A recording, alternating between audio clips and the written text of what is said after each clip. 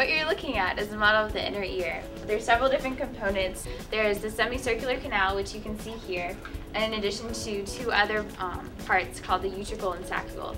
And they are part of the vestibular system, which basically um, tells your body how to balance and how to um, align your eye like sight with the movement of your head. So in the semicircular canal, you have three orthogonal or perpendicular canals. Here we have camera set up looking at all three canals and to look at the movement of the hairs within the fluid in the canal um, in microgravity as it's being moved. And this will give us information about the movement of the head in three dimensions.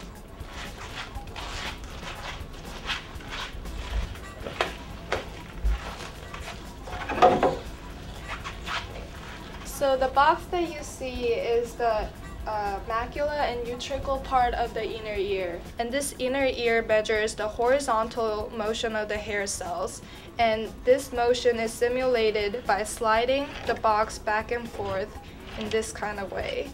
And we're going to have the hair cells and mac, um, macula and utricle um, modeled by this plastic box that you see, with the hair cells protruding from the bottom and the motion of the hair cells uh, in respect to this uh, horizontal motion is recorded through a, a, camera mounted on top, which is going to be transferred to the data analysis in the computer, and we're going to measure the acceleration and uh, movements of the hair cells in respect to the motion.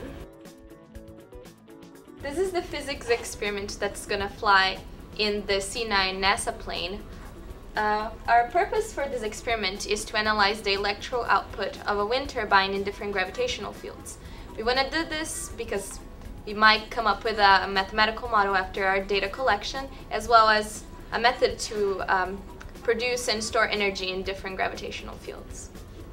Okay, so the two main components of our physics experiment are the uh, fan and the turbine and the fan, of course, will produce the uh, wind for the that the turbine will collect, and we will be modeling the apparent acceleration due to gravity versus the voltage output of the fan, and both of those, one of those we measured with a voltmeter and another with a 3D accelerometer, which will be hooked into a data collection system, and that will just that will give us a graph and some data of acceleration versus volt, uh, voltage output.